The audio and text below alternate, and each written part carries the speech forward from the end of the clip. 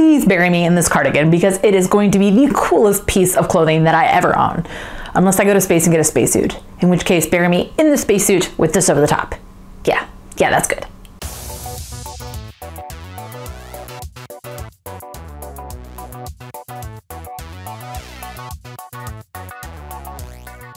Hey guys, welcome back to the STEMulus. I'm Steph Evans, and welcome to my newest segment here on the channel, STEM History. These videos will be all about people in STEM that you may not have heard about. I know for me personally, the only non-white male STEM type person I ever learned about for most of my youth was Marie Curie, so let's see if we can change that here. So, who is the first person I'm going to be talking about? None other than this motorcycle racing aeronautical engineering badass. Meet Beatrice Shilling. Aside from having the coolest Wikipedia picture of all time, she is most well known for inventing a fix for the Rolls-Royce Merlin engines that were used in the Royal Air Force, or RAF, Hawker Hurricane, and Supermarine Spitfire fighter planes during World War II. The fix kept the engines from losing power or stalling during certain combat maneuvers because, you know, the last thing you want when you're flying an airplane is for the engine to just stop.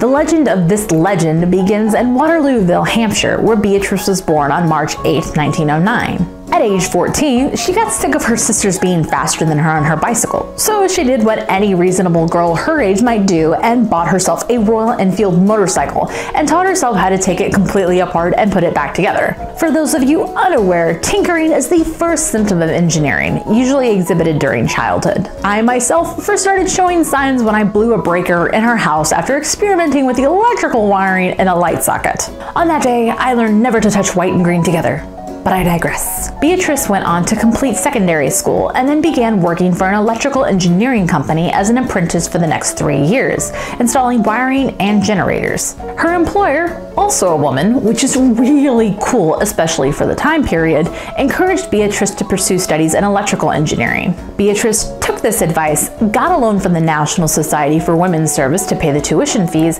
and went on to receive a bachelor's degree in electrical engineering from the University of Manchester in 1932. Then she stayed an extra year to research internal combustion engines to get a master's degree in mechanical engineering. Now, some of you may be thinking, overachiever! But as a woman in the early 20th century, this is what it took to become an engineer. On top of being a woman, Beatrice had to contend with the fact that it was the freaking Great Depression when finding a job after college. She was able to find a job as a research assistant at the University of Birmingham, and in 1936, she was hired as a technical writer at the Royal Aircraft Establishment, or RAF. RAE, which served as the research and development agency for the RAF.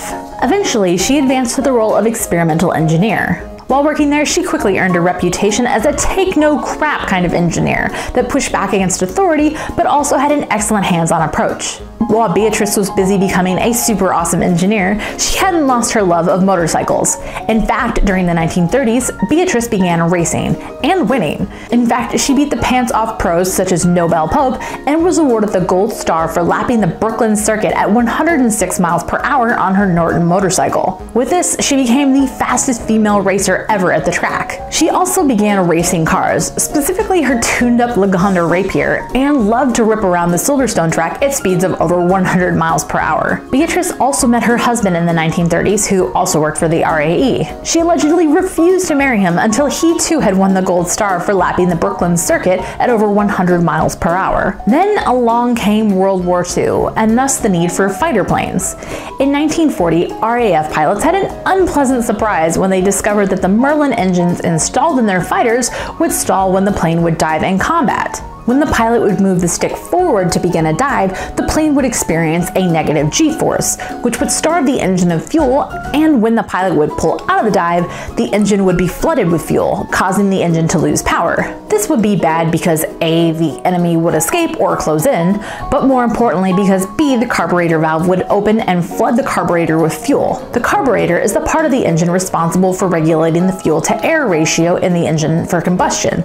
So if things aren't balanced, it's no bueno for the engine. The type of carburetors used in the Merlin engines were what's known as float type carburetors. These carburetors relied on a float that operates a valve that keeps the fuel ratio in the carburetor at the value it needs to be. If too much fuel gets in, the float rises and restricts the fuel flow into the float chamber. If there's not enough fuel coming in, the float will sink and allow more in. As you can probably guess, this type of carburetor really relies on gravity in order to function properly, and when you're diving and inverting and doing all sorts of crazy maneuvers in a dogfight, fight, gravity doesn't exactly become the most reliable thing, which means you've got problems. More specifically, this would cause the engine to cut out mid-flight, which in terms of places for an aircraft engine to stop working, this would probably rank as the worst. Needless to say, it didn't take the Germans long to figure out that the British fighters had this problem and they began exploiting it. But one thing the Germans didn't count on was Beatrice.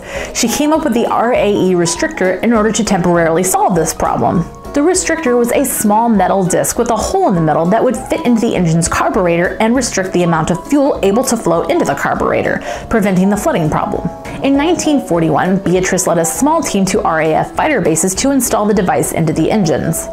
Pilots were huge fans and named the restrictor the Tilly Orifice for Beatrice's childhood nickname, or the less giggle-inducing shilling's penny, since the restrictor was roughly the size of a three penny or shilling bit. While this was an improvement, it did have limitations. While certain negative G maneuvers used in dogfights could be performed, inverted flight for any length of time was still not possible. This temporary fix was used until the introduction and implementation of the pressure carburetor in 1943. Beatrice's work didn't end with the War.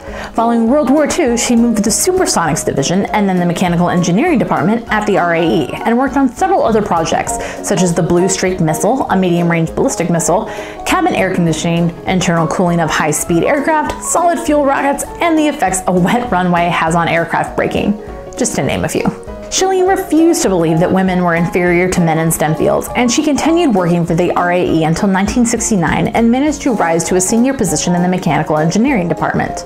Throughout her career, she earned recognition and several honors, including receiving an honorary doctorate from the University of Surrey and even had a pub named after her. PhD, pub named in her honor.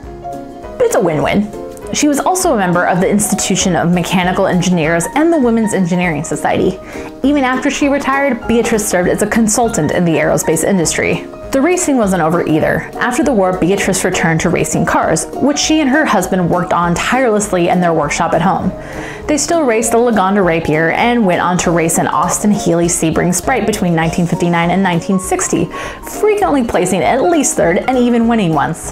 During her retirement years, she continued to zip around at top speeds in her Triumph Dolomite Sprint, but that wasn't exactly in a racing environment. Beatrice Shilling played an important role in paving the way for female engineers in the mid 20th century. She was known for not taking crap from anyone, even if they outranked her. She defied conventions for the time with her hobbies, her attitude, and her approach to engineering. Her numerous contributions in the aerospace field still have value in modern aircraft design and paved the way for female aerospace engineers like, well, me. So that brings us to our question of the day. Since this is a new series, what person from STEM history do you think deserves more recognition? Let me know in the comments section down below. If you think Beatrice Shilling is as cool as I do and want to learn more about her, I will include links to my sources down below along with links to all of my social media pages, so feel free to check that out in your free time. If you like this video and you want to see where this series goes, please feel free to give it a big thumbs up and subscribe to the channel so you don't miss out on any of the awesome STEM related content. But as always, I hope you guys have a wonderful rest of your week. Stay well, stay awesome, and I will see you next time.